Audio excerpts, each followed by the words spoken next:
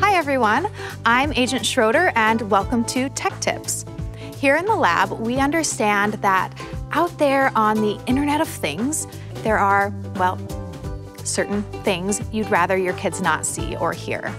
So, today we're going to show you how to enable parental controls on your Eero Mesh Wi-Fi system.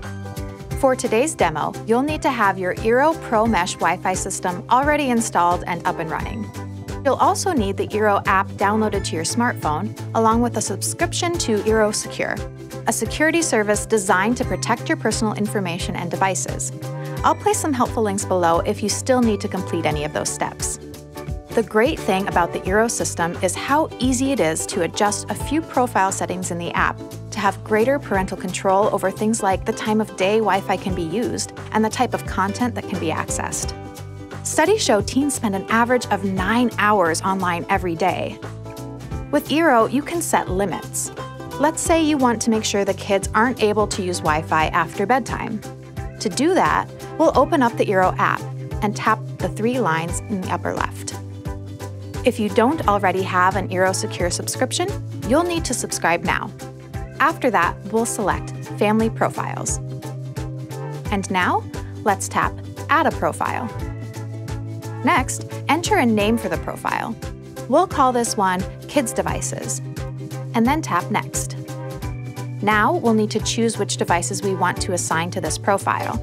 For demonstration purposes, we've already got two devices logged into our Wi-Fi, Kids Phone and Kids Tablet. We'll select those and then we'll tap Save. Now, we'll flex our parental control muscles and set a limit on the time of day the kids' devices can access Wi-Fi. To do that, select Set a Scheduled Pause. Then tap Add a Schedule. So, for example, if the kids' bedtime is 9 and you don't want them online after that, you'll choose 9 p.m. for the pause to start. And maybe you'll choose 7 a.m. the next morning for it to end. You can also adjust the frequency. For example, maybe you only want this to apply on school nights. Adjust the window to Sunday night through Thursday. Then tap Save when you're done. The next screen will confirm the schedule you just created.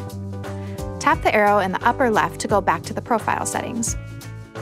For our next act as benevolent dictators, let's put some restrictions on the type of content the kids' devices can access while on Wi-Fi.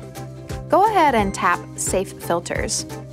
Here, we'll enable Safe Search, as well as some content filters to make sure the kids don't end up on sites we'd rather they not see, at least until they're much older.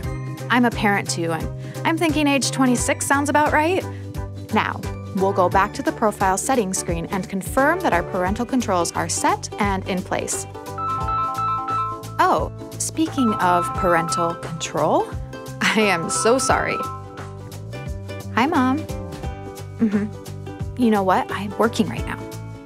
Yep. Yes, love you too. Okay, parental controls. Now that we've confirmed our settings, we'll return to the Eero app home screen. You'll need to tap two times to get there.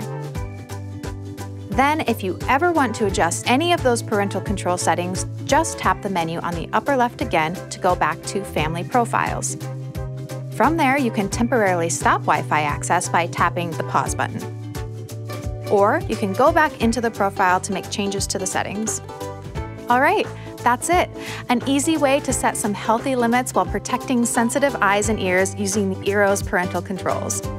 If you have any questions, leave them in the comments below and we'll get back to you. And if you found this video helpful, please give it a like and subscribe to our channel for more tips and help from Best Buy. See you next time.